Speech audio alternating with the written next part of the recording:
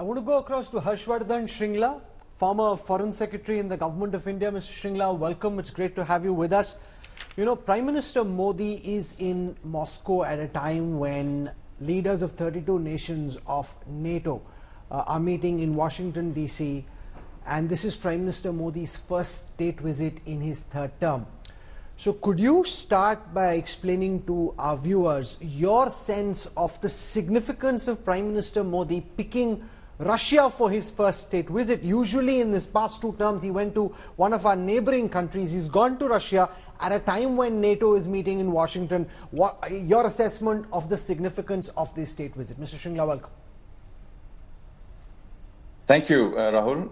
Well, I mean, you have to look at it in context. You know, the Prime Minister's first visit was to the G7 after he uh, was sworn in for the third term in office. And he had an extensive interaction with most of the leaders of the Western world uh, at that meeting. And uh, the fact that he's going to Russia also has to be seen in the context of our strategic partnership with Russia, which provides for an annual summit between the two leaders. Now, so far, we've had 21 summits and President Putin had visited India in December 2021. So that's almost three years uh, or two and a half years since his visit. And so, um, you know, Prime Minister's visit in Russia, I would say, is due. Um, obviously, um, you know, there are many other factors. Uh, you know, one is our bilateral relationship. Russia is an important partner in our energy equation, in terms of defense, in our trade, people-to-people ties. Um, we also cannot discount the fact that uh, the geopolitical, global geopolitics will be part of the discussion. Um, Prime Minister Modi has been in constant touch with both President Zelensky and President Putin. Uh, his his uh, famous words that this is not an era of war and that we should deal with conflicts uh, through diplomacy and dialogue, I think in many senses sets the tone. If you recall, the G20 summit that India presided over also had in its outcome document uh, among the first paragraphs some of these uh, defining features of our own approach towards the Russia-Ukraine Prime Minister Modi last so visited Russia in September 2019. Since then, Russia and China have become more tightly uh, locked in embrace. India and the United States have built on their strategic partnership. So let's spend a moment on the troubles that China is giving India along the line of actual control and the role potentially Russia could play in trying to help India deal with Beijing? Well, you know, um, India has always seen Russia as one of the poles in a multipolar world. But the, but the one of the consequences of the Ukraine conflict has been that Russia has been drawn more closely into China's orbit, making it less of an independent pole by itself. Now, our enhanced engagement with Russia, I think, is to draw it out, and also, you know, to try and get it to play as a moderating factor in the, uh, you know, India-China relationship, and the fact that Russia, being a close, uh, you know, uh, strategic partner of ours, can also present a perspective that may not be always evident.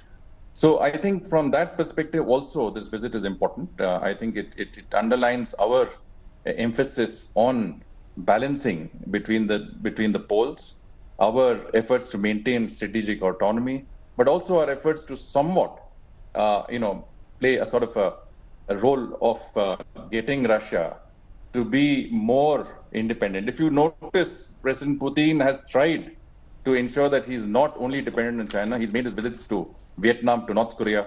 And I think it's important that uh, there is some uh, you know political space for him to to maneuver that would allow him uh, to to engage other partners uh, other than China. How is the establishment in the United States likely to look at this visit? It becomes more consequential because of the timing. This is when there's a NATO meeting, as I said, happening in uh, Washington, D.C. So how is the U.S., which wants to pull India as much as possible into its embrace and into its fold, likely to look at Prime Minister Modi making this very significant state visit uh, to Moscow? Last year, Prime Minister Modi visited the United States. Uh, it was a very uh, successful visit. Uh, we concluded some major deals, including for the first time, cutting edge technologies such as the G144 engine for India's uh, light combat aircraft was provided. we signed the initiative on, on critical and emerging technologies that gives us access to obviously cutting edge technologies. Uh, so we have a relationship and we have a very strong relationship with the United States. That relationship is growing. And, and I think uh, the US, uh, in many senses, will understand uh, the you know context in which our visit is taking place, the Prime Minister's visit is taking place. I think one of those factors is also to ensure that there is a certain amount of um, effort to um, you know put this conflict in some context and try and uh, try and redress some of the issues that would bring the sides closer. I mean, the recent uh, meeting in uh, Switzerland, which is designed to sort of act as a peace conference, wasn't very successful because Russia wasn't there. India is one of the few major countries that straddles that ideological divide between North and South and East and West. Between uh, the Western powers and Russia and China, uh, we are uh, the one uh, player that can that can actually contribute. And I think Prime Minister Modi is uh, looking at that uh, factor. He is looking at seeing how India can bring its own approach, you know, Vasudhaiva Kutumbakam, into this context and see how we can help in resolving that uh, issue uh, that has really uh, not only can Prime Minister brought Modi conflict into the heart play a Europe, has role in trying to uh, impact or shape the Russia-Ukraine conflict, or do you think that is so complex that there's very very little a player or a country like India can do, given uh, the clear differences between Russia and Ukraine at the moment? Yes, I think uh, you know uh, nobody is saying that you're playing the role of a mediator. Uh, but if you see in the current context, many of the leaders who actually tried to do some shuttle diplomacy, tried to contribute to resolving the, the conflict, are today not uh, active any longer or not seen as as impartial to the extent that they can make that uh, make that uh, effort. And today, I think it leaves very few countries with that. I would say, uh, you know, ability to uh, to bring the two sides closer together. So mediation is not the issue. The, the issue is really understanding both sides uh, in some detail and trying to find uh, areas where you know both sides could be nudged into a more reasonable stance that could lead ultimately to a resolution to the conflict. So I'm not saying that uh, that uh, you know the visit is a mediatory sort of effort. I'm saying that one of the issues that would be, and one of the major issues that could form the discussion between Prime Minister Modi and President Putin would be, uh, you know, how to how to look at uh, bringing this uh, conflict to an end. President Putin himself has said he's open Finally, to examining, uh, you know, how the conflict could be resolved. what do you see as being the most critical takeaway from this uh, bilateral state visit? What do you see as being the key uh, items in the agenda and the takeaways our audience should be looking out for? I think the word bilateral is correct. Uh, we will be looking, in my view, at uh, trade, which is a very important factor. Don't forget, Russia contributes to one third of our total energy imports. We have imported uh, about 62 billion dollars of Russian, uh, you know, energy uh, and fuel uh, in in the in the financial year 2024. Um, and I think uh, you know there is an imbalance because obviously Russia has exported only four billion dollars out of that 66 billion dollars. So uh, we have to redress that balance, and one way to redress this balance is also to look at a rupee ruble arrangement, where uh, the surplus uh, that Russia holds in that trade balance can be invested in India. After all, the two leaders in 2019 in Vladivostok agreed that Russia would, I mean, or both sides would invest, and the investment figure would be about 50 billion dollars by 2025.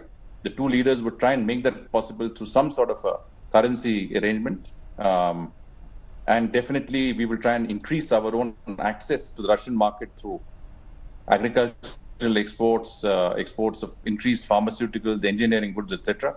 So we need to redress that trade balance, which is today very much in Russia's favor, uh, and to look at how we can increase investments. We also look uh, have to look at the defense side because, after all, Russia does account for about 60% of our defense platforms today.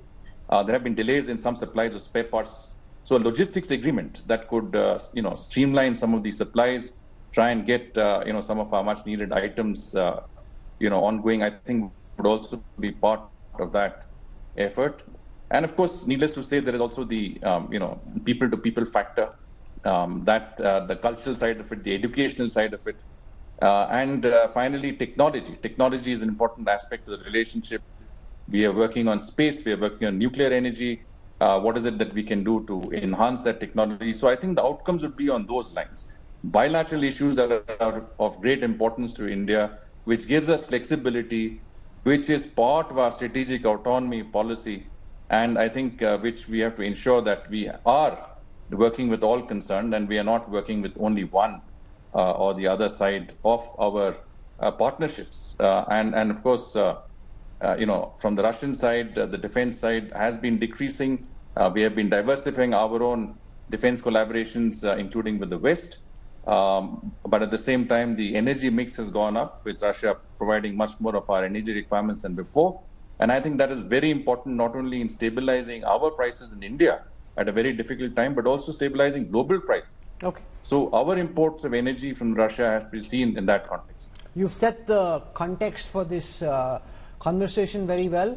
Harshvardhan Shringla, appreciate you taking out time to join us. Thank you very much, sir. Thank you, Rahul.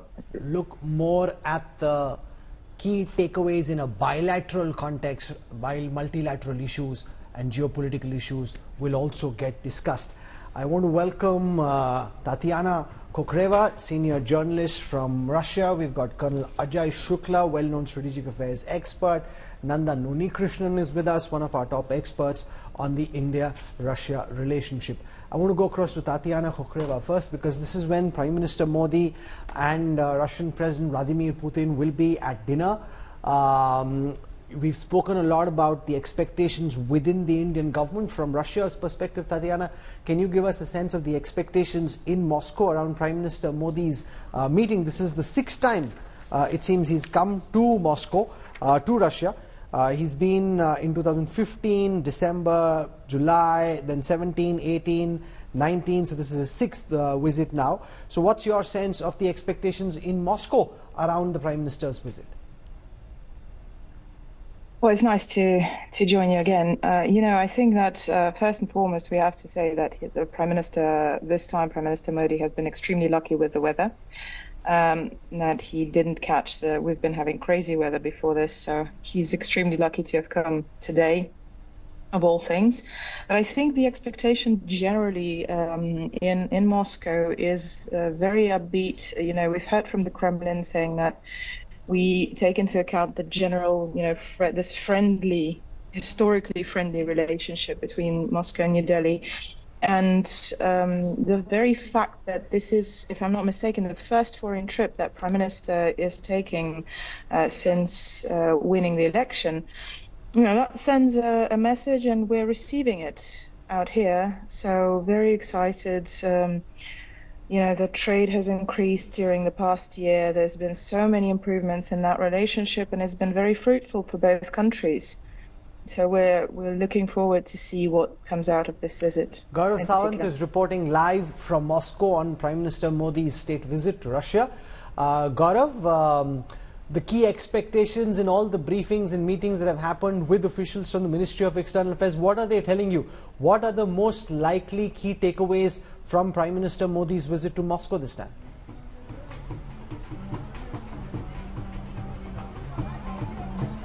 Rahul, the aim of this visit is to take the relationship to a new level and keep it futuristic. Traditionally, it's been a very, very strong relationship between India and Russia over decades, uh, from the 50s when it started building up and gathering steam to the 1970s. You know the history, 1971 war, India-Russia pact held India in good stead through the Kargil war of 1999 and beyond. Uh, but it is not just restricted now to the BrahMos supersonic cruise missile. India and Russia want to take forward this relationship in critical technology from the drawing board stage. So Prime Minister Narendra Modi, as he meets the Russian President Vladimir Putin over this dinner, the aim, Rahul, is that the two talk about taking this relationship, making that transformational swift, uh, shift and switch. What does that mean? That Indian scientists and Russian scientists sit together and start thinking of futuristic technologies at the drawing board stage. That is what we were told. The students do their research together in India and in Russia build it together, and then manufacture it together. Some components in Russia, some components in India, and put it together to export to the world. Make for each other, make uh, it, and then export it to the world like BrahMos space cooperation, uh, nuclear cooperation, defense cooperation remains strong. Economy remains the bedrock uh, in this transformation. Now, the rupee ruble, as you understand better, the trade deficit, uh, uh $60 billion in Russia's favor, just $5 billion worth of India trade. How do you change that? How do you get rupee ruble exchange, which is the biggest hindrance apart from Western sanctions on Russia, taking this relationship forward? How do you overcome those problems? That is the conversation that is taking place right now at the level of the dinner and then subsequently the directions that come from here, Rahul, uh, from the Indian Prime Minister to his delegation and the Russian President to his delegation will set the tone for the conversation tomorrow morning and take it forward. The aim is to have a result-oriented approach. A vision document may or may not come uh, right now, but keep it, keep it as, uh, you know, work in progress to ensure that there are positive outcomes, not just in thought, but in action on ground, Rahul. I won't hold you back from your live reportage, Gaurav Sawant. Thank you very much for joining us. Michael Kugelman joins us, uh, director at the South Asia Institute, the Wilson Center uh, at Washington, D.C. This is a state visit that's happening at a time when NATO leaders will be gathering in Washington, D.C. for a NATO meeting from the 9th, and 9th to the 11th of July. Uh, from uh, Washington, uh, what's the view on Prime Minister Modi choosing Russia for his first state visit in his third term? Uh, well, certainly, uh, you know, here in Washington, uh, it's seen as uh, as as not a as not a good thing. Um, but I think that there's there's a lot to this story. Um, but my my broad view here is that the pageantry and the theater and the optics that we're going to be seeing over the next few days uh, in Moscow have an intended audience that goes far beyond India and Russia. And one of the main intended audiences is indeed uh, Washington, and Washington knows that. Um, but I, I, think that you know, the visit and, and, and the state of the India-Russia relationship now might not bode as poorly for the West, and particularly the U.S., as, as some might suggest. I mean, indeed, I know that one of the goals of this summit is to, as your as as Gaurang said, take the relationship to another level. But I think that the the, the main goal of this summit is to essentially reinforce the strength and importance of the of the relationship in its current state and the current state of the relationship is one that certainly is very strong, but it also has indicated certain things. One is that um, you know the trend lines of the relationship have not been as as positive as they had been in previous years. We've seen, for instance, India's share of uh, of arms imports from Russia have gone down, whereas uh, India's uh, security ties with the U.S. have never been stronger. So I think that's a significant point. And I, I would another point I would make here is that um, the the the India-Russia relationship does, I think, put a bit of a check on growing Russia-China cooperation, which is seen as a good thing here in Washington. If Russia wants to continued strong partnership with India, which I imagine it does, there are certain things that it'll need to be careful about doing. And that includes, among other things, being sure not to suggest that it would be willing to take China's side in the potential conflict between India and China. So, bottom line, yes, uh, Washington is clearly not happy about this visit, but it's accepted it just as it's accepted the fact that India will continue to have a significant relationship with Russia. It will continue to import oil. It'll continue to have that security relationship. But I think the view here, and this I share this view as well, is that the contours of the India-Russia relationship today uh, are not as strong and not as sharp as they had been uh, some years ago. Nandan Unnikrishnan, you accept this that while uh, India Russia continue to remain important partners, the relationship isn't a patch of what it used to be before India became far closer to the US than it was in the past, and that's really the new reality. You can say what you will, but uh, the fact is that India and the US today are closer than India and Russia, and Russia is drawing closer uh, to Beijing uh, than to India. Firstly, uh, Rahul, thank you for inviting me. Uh, broadly speaking, yes, I mean, I agree with you, but let's not forget that uh, Russia is not the Soviet Union. So I think uh, comparing the Russian relationship, which we had when the Soviet Union was around, to the current relationship with the United States is a bit of apples and oranges. So that is one aspect. The second part is that I think uh, it is self evident that uh, India's primary uh, concern is India's development. Uh, in that, the United States and the West have a significant role to play. Uh, but uh, given the geopolitics of Asia, India is not about to forget what uh, Russia can contribute. And I think Michael correctly pointed out that Russia playing neutral in the conflict between India and Russia should be seen in Washington as a positive sign, not only in Washington, but across the globe, because that would mean that there is one more check to China's emergence as a hegemon, at least on the Asian continent. And uh, I also think that you have to take the size of the Russian economy into view before passing judgment on the depth and uh, width of the relationship with Russia. Given that Russia is Uh, one and a half trillion economy, India is already a three trillion economy. So the relationship of the past when Soviet Union was the giver and India the taker, I think may have actually changed. And this is the new reality that I think Mr. Modi and Putin will be discussing. Colonel Shukla, from a weapons perspective, from the lens of the Indian armed forces, which are the weapon systems which you think India would still want to buy from Russia? Or do you think, given the reality of how in the recent past uh, Russia hasn't really been a reliable supplier of supplies and ancillaries that India really shouldn't be, apart from things like the S-400 uh, missile defense system where you don't really get that kind of a system from anywhere else. So apart from things which you can't pick up from anywhere else, are there still weapon systems that India is actively talking to and should be buying from Russia in your view? Uh, just uh, one quick point before I answer your question, and that is that uh, the India Russia annual summit has been a feature of the relationship from 2000 uh, when uh, you know the disastrous presidency of Boris Yeltsin came to an end and Putin and Vajpayee started off this annual tradition and it has continued without interruption for a long time. It's a it's a it's a highly symbolic sort of uh, manifestation of their uh, actual closeness. Uh, as far as the uh, the weaponry that you're talking about, uh, India is already getting weaponry from the Soviet uh, from Russia. that it was sort of not likely to get from America. The S-400 you mentioned yourself, uh, but there is also the the strategic uh, weapon systems, uh, the SSN that India will be building. That's uh, this uh, the submarine. Nuclear submarine. They, these are all weapon systems that are critical to India's defense, and you know the the the, the American side is far less inclined to play ball on these weapon systems than the Russian side.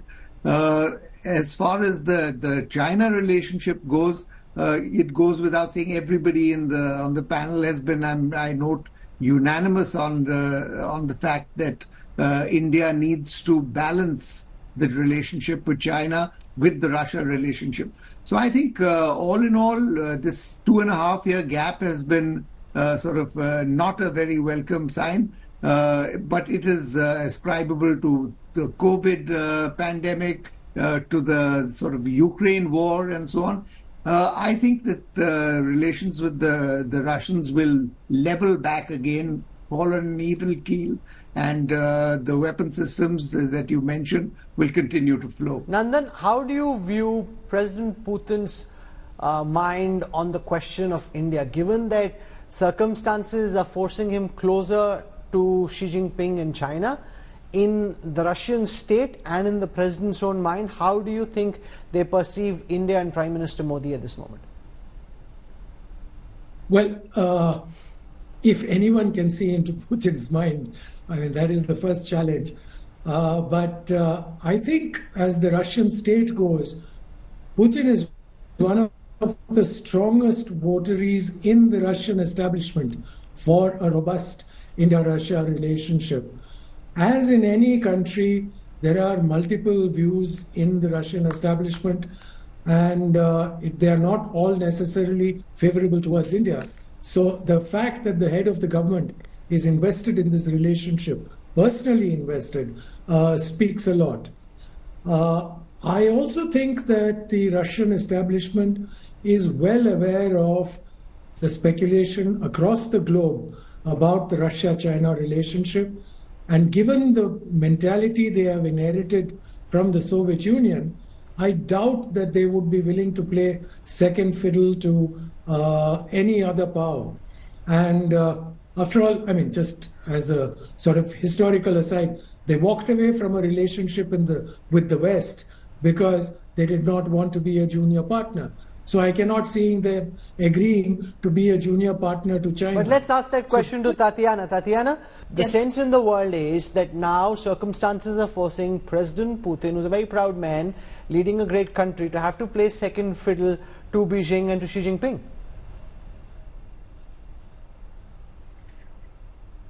I think, um, you know, in general, when it comes to making sense of you know and this is the beautiful part about um, you know the relationships between Russia and China and Russia and India is that in the BRICS bloc th- there is an understanding that we accept you know the the relationships are kind of there's no one standard which is uh, kind of the definition of all of the foreign blocs, the Western blocs, there's always, you know, one standard of relationship and everybody adheres.